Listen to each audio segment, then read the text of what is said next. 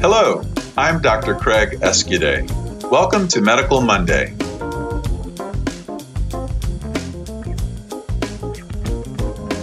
Nose, navel, knees. Nose, navel, knees. Nose, navel, knees. Remember that. Why is that important? That's a good guide to helping ensure that you have good body alignment when a person is eating. It helps with better swallowing. So think about this. Take a glass of water, turn your head to the side, and while you're at it, turn your hips to the opposite side, and then drink that water and see how easy it is to swallow.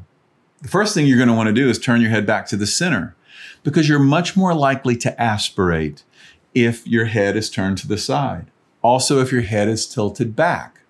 So, when we're working with people with uh, different body deformities, different body positions, one of the best things that we can do to help reduce the risk of aspiration and improve swallowing is to help the person's body be in a line. So think think about nose, navel, and knees all pointing in the in the same direction.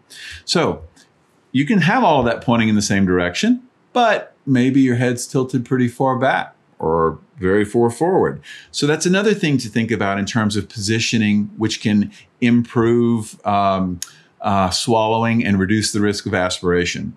So if your head is way back and you try drinking that same glass of water, it's going to be hard. And the first thing, again, you're going to want to do is turn your head back.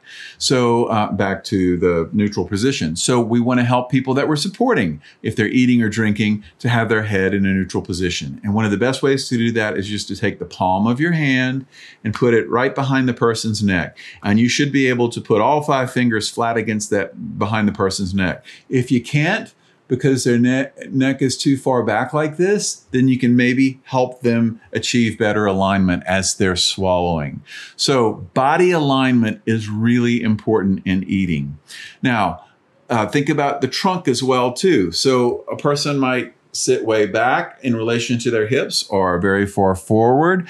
And what we really want is as close to a 90 degree angle from the person's hips, you know, in a sitting position um, as possible. Somewhere between, oh, I, I guess maybe, you know, 45 and 105 is, is okay. Uh, but really about 90 degrees is where, where you want it to be.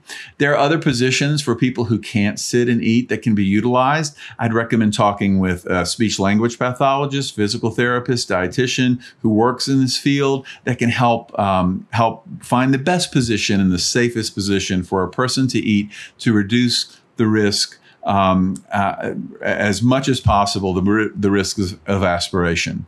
So keep those things in mind and remember nose, navel, knees, nose, navel, knees. Hey, everybody, thanks for watching this episode of Medical Mondays with Dr. Craig Escude. We got a ton more in the backlog, so if you want to check those out, we got a playlist on YouTube or you can listen to it on our podcasting platforms.